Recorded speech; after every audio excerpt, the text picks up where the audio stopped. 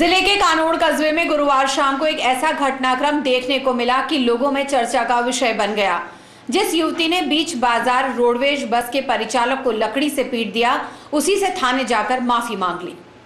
प्रतापगढ़ से उदयपुर को जा रही रोडवेज़ बस में धरियावत से सवार हुई एक युवती, जमुना कीर, और परिचालक राजेंद्र सिंह के बीच उड़न गिलहरी देखने की बात को लेकर बहस हो गई। महिला ने परिचालक पर अभद्रता करने का आरोप लगाते हुए कानोड़ बस स्टैंड पहुँचते ही परिचालक के साथ मारपीट करते हुए अन्य वाहन में बैठकर कस्बे से निकल गई, जिसके बाद मौके पर पहुँची कानोड़ पुलिस ने महिला व यात्रियों से लदी रोडवेज़ बस को थाने ले गए, जहाँ युवती ने परिचालक से माफ़ी मांगते हुए राजीनामा कर लिया। कस्बे के मुख्य चौराहे पर हुई इस तरह की घटना के बाद काफ़ी संख्या में लोग थाने पहुँच गए। वहीं बस में सवार यात्रियों ने भी परिचालक का पक्ष लेते हुए महिला को ही गलत ठहराया। थानाधिकारी देवेंद्र सिंह देवल ने बताया कि महिला को थाने लाया गया, जिसने कार्रवाई नहीं चाहने का प्रार्थना पत्र देते हुए परिचालक से माफ़ी मांगी।